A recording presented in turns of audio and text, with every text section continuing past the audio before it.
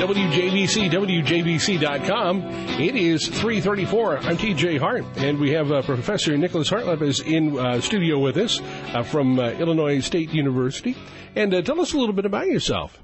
Hi. Um, well, I'm a professor. I teach educational foundations um, to mostly upper graduates, Mm-hmm. uh, and they're all all my students are um, studying to become teachers. You've just written a book, and it's called uh, the uh, uh, the Model Minority Stereotype, and it, fascinating. Just the, briefly, the fast ninety seconds that we had before we went on the air. Uh, let's bring up the uh, bring the audience up to speed about what your book is about and what you're trying to present.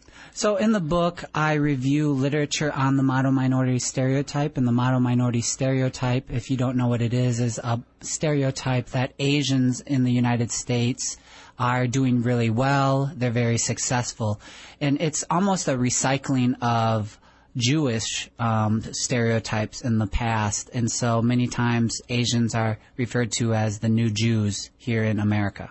Uh, so there's a problem with being identified with be, as being successful and, and intelligent. There, there's a negative to that. Yeah, so that's You precisely. see, all my life I was hoping maybe I could get somebody to bite on that yeah, for me. Yeah, yeah. So that's that's precisely Uh-huh. one um, challenge and obstacle to Mm-hmm. dismantling this myth is this idea, right? People say, well, it's positive. Well, one negative uh, uh, consequence of the stereotype is that, right? If you've internalized this stereotype and you are unsuccessful, you might um, have depression. You might actually commit suicide, and, and there are instances of that occurring. Oh, wow, And so there's it's, it's a complex phenomenon to really understand. That is very, very, very, very deep. Um, you know, with with with the stereotypes, I think we we deal with them um, differently today than we did. I would say when I was a young man back in the 1960s. Uh, I think they're they're vastly different, but they're still there. And although they might not be at the surface, there's the undercurrent, and it's what's not said sometimes. Absolutely. And so actually the model minority stereotype originated in 1966. A sociologist at UC Berkeley, William Petersen, he wrote a article in the New York Times magazine in which it really applauded Japanese Americans for doing well here in the United States. One negative consequence of the model minority stereotype is that if Asians are, you know, applauded for doing so well, there has to be a contrast, a comparison group. And so one negative outcome or unintended consequence, if you will, of the positive stereotype is that it really pushes down on blacks and Hispanics in this country. I, I believe it or not, I see that because uh, if you're putting one set of people above another or displacing another set, uh, all of a sudden there, there's that unintended consequence. Think you're paying somebody a compliment, and what what's really happening? Absolutely. And then it can also lead to comp- uh, competition. So if Asians are perceived to be doing extremely well, well, no longer are they a model minority, they're competition for the mainstream population.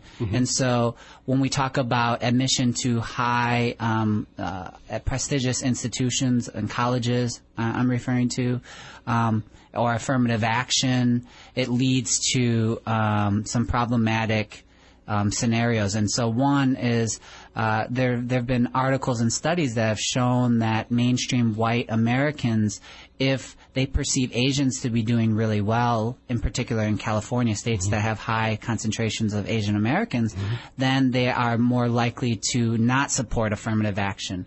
And, and so it's it's it's a really really interesting phenomenon, um, and it has many outcomes that most people would say, hey, it's positive, right? Like you said, it's positive. What's so wrong with that? And we, we identified some of these. Now, how, how do we go about trying to undo centuries of stereotyping? Well, see, again, that's another reason why it's so hard to uh, to dismantle because stereotypes, in some ways, cognitively, um, for our brain, um, are functional, and it helps us to um, ascertain and to to take a, a lot of information and to make some um, observations, right? So there's right a stereotype as a, a, a little kid. In some ways, it's a stereotype. You put your hand on a stove, well, and you get burnt. Oh, you learned your lesson. Yeah. right? So we we have these. They do serve cognitive functions. And how do we um, break how them do, away. yeah, how do we break away? Well, there's some work. Some people have um, talked about implicit bias that we can reprogram our brains to to unlearn stereotypes. Believe it or not.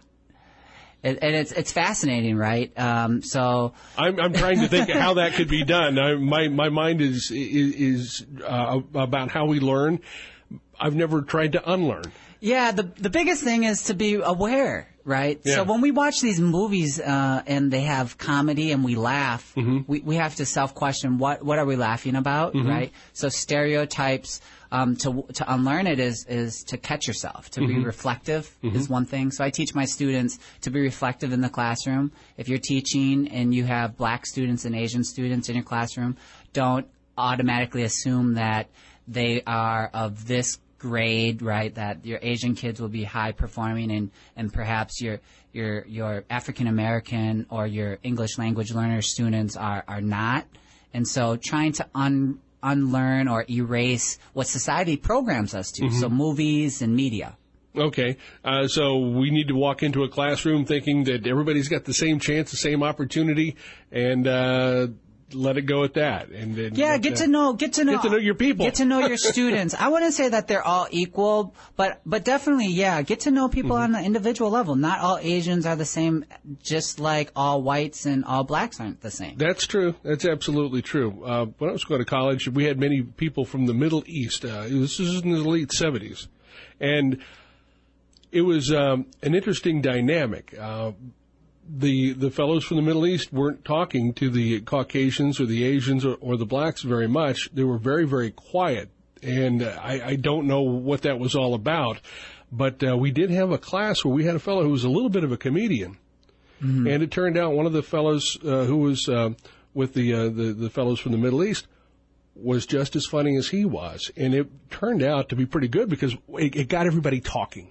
And the, next thing you know, uh, what used to be a very divided room and a very quiet room became a very friendly coming together. And I, I you know, just as a 19 year old college student, I thought that was uh, something that doesn't happen very often or often enough. Absolutely. So there's a lot of um, work being written about Asian Americans. They, they call it the creative class. That they're not all just studious nerds or brainiacs, but rather, right? They're artists. There's musicians. They're comedians, and and and certainly. Jeremy Lin as a basketball player. I mean, he's treated as a model minority, but certainly there's athletes. So Asian Americans are are um, multidimensional. Yeah, just like everybody. that's why, that's why we, we have to, to relearn it. Now, is your book available uh, on Amazon? Yes, it is. It's uh, available on Amazon. If you uh, go to Amazon and search the model minority stereotype, demystifying Asian American success, or or search Nicholas Hartlep, you should be able to find it. All righty, very, very good. Uh, Thank you very much. Uh, uh, very nice to get a, an insight there, and uh, we learn something new every day. Yeah, All thank right. you very much. Thank you, Doctor. Appreciate it. We've got more coming up right here on WJBC and WJBC.com.